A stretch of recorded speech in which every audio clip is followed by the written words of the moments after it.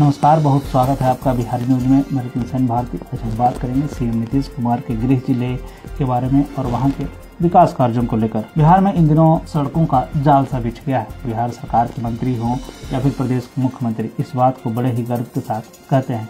प्रदेश के किसी भी कोने में आप राजधानी पटना में एक दिन में आप अपना काम करवा कर आ सकते हैं और जा सकते हैं। इसके कहने के पीछे प्रदेश की सड़कों की स्थिति है ऐसे में आज हम सीएम नीतीश कुमार के गृह ज़िले, जिला मुख्यालय बिहार शरीफ में हो रहे विकास कार्यों के बारे में जानेंगे। यहाँ के लोगों को खासकर जाम से निजात दिलाने के लिए कुछ परियोजनाएँ शुरू की गई हैं। इसके तहत बिहार शरीफ में बहुत ही जल्द एक नया फ्लाईओवर बनाया जाएगा। बता दें कि इस फ्लाईओवर के निर्माण को लेकर बिजली के पोल को शिफ्ट किया जा रहा है। बता दें कि यह फ्लाईओवर स्मार्ट सिटी के तहत बनाया जा रहा है। इसका निर्माण शहर के रांची रोड पर होगा। यह बिहार शरीफ बस स्टैंड से सोगरा कॉलेज तक के लिए बनाया जा रहा है। स्मार्ट सिटी के तहत जो प्रस्तावित है, उसके अनुसार शहर के सरकारी बस स्टैंड के पास फ्लाईओवर का आधार होगा, जबकि सोगरा कॉलेज के पास चौराहे के पास इस पुल का अंत होगा। इस फ्लाईओवर की लंबाई एक किलोमीटर होगी। इसको लेकर इंजीनियर ने बताया कि 24 फीट चौड़ाई होगी, यानी कि इस फ्लाईओवर की जो चौड़ाई होगी, वह 24 फीट की होगी। सोगरा कॉलेज से आगे जाने वाले वाहन इस पर सीधे चढ़ सकेंगे। इसके बीच में कोई सीढ़ी नहीं होगी।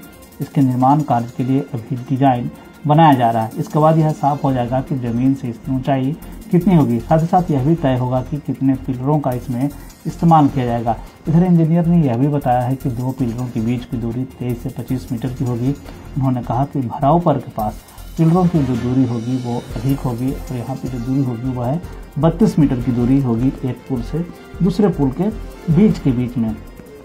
इस निर्माण कार्य को लेकर विभाग का मानना है कि फ्लाईओवर को दो साल में बनाया जा सकता है।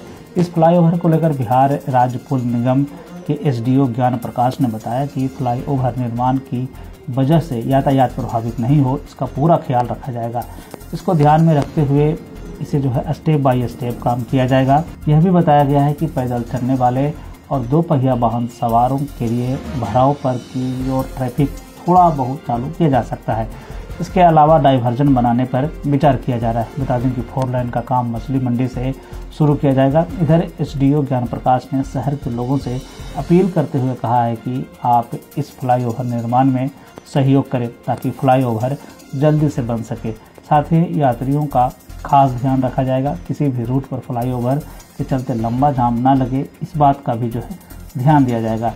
बता दें कि शहर में जाम लगने के कारण लोग लंबे समय से फ्लाईओवर की मांग करते रहे हैं। ऐसे में अब लोगों की उम्मीद है कि आने वाले दो सालों में यह फ्लाईओवर बनकर तैयार हो जाएगा और बिहार शरीफ में जो जाम और महाजाम की जो समस्या उत्पन्न होती रही है, उससे लोगों को अब जो है निजात मिल सकेगी बिहार और बिहार से जुड़ी हुई और भी ऐसी खबरों के लिए बने रहें बिहार न्यूज़ के साथ। मुझे दीजिए इजाज़त।